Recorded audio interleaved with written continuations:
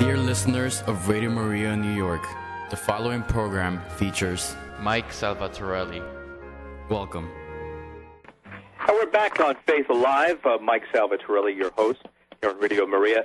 And right now, we're going to head towards and shift gears as we uh, get into the pro life movement once again with an update from our very own Gia Vitiello, who's uh, part of the St. Benedict's uh, parish in the Bronx of the uh, Respect for Life uh, Respect Life Club.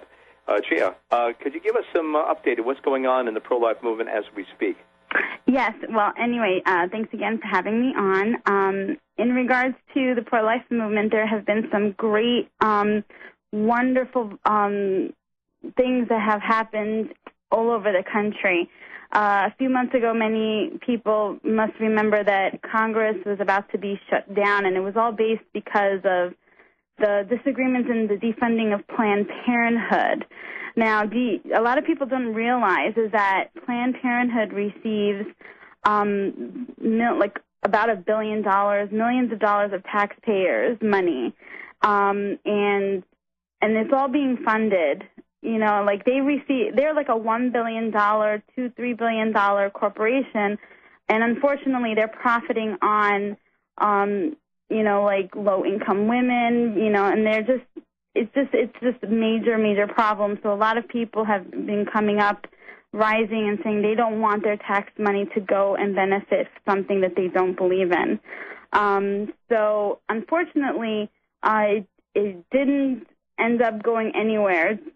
Planned Parenthood is still going to be getting taxpayers' money from our federal government. Um, but what's great about this is that the states have now decided to take up arms, and we've had seen so much progress. In the last couple of weeks, um, three states, Indiana, Kansas, and including North Carolina, have decided to strip Planned Parenthood of the of taxpayer funding. And um, in North Carolina, it is estimated to be four hundred and thirty-four thousand dollars. So that's a great, wonderful um, thing that's that's going on. That, that is marvelous. That's great. And anything else going on besides the the fact that they've been basically cut off at the knees in those states? I'm sorry. Can you say that again? I said, what else is going on in the movement besides the fact that uh, Planned Parenthood has been cut off at the knees in those states that you mentioned? Um, another thing that's happening is something in New York City that needs to be um, uh, that I, I really want everyone to have an understanding. There is a new bill that's been introduced called the Reproductive Health Act.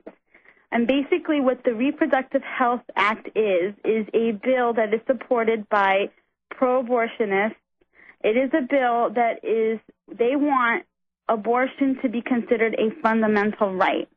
And basically, what does that mean, abortion a fundamental right? Well, basically, it will continue to promote, without any regulations, abortion on demand. So any um, laws that would have certain restrictions on abortion, like, for example, parental notification. We don't have that in New York, but if we did have that, it would be thrown out. Um, also, it would make abortion legal throughout all nine months of pregnancy.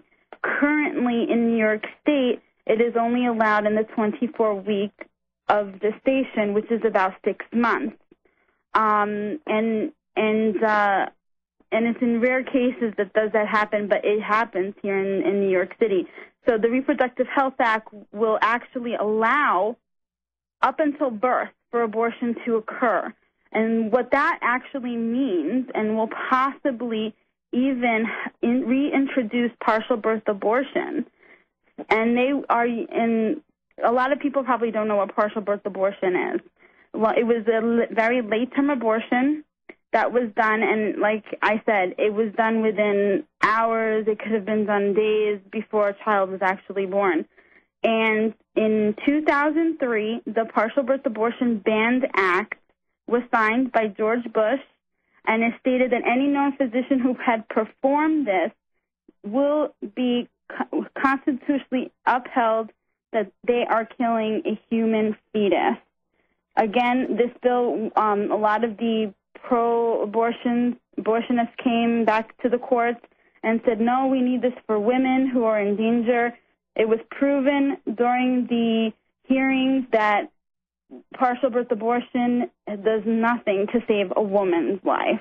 Right. Okay. Um, well, that's good. That's, that's. I'm glad that you give us the update on what's going on in the pro-life movement. Gee, I appreciate it so much. We'll be back on in about uh, in about four weeks with us again here at Faith Alive, and we want to thank you for joining us, Mike Salvatorelli here on Faith Alive on Radio Maria. Have a.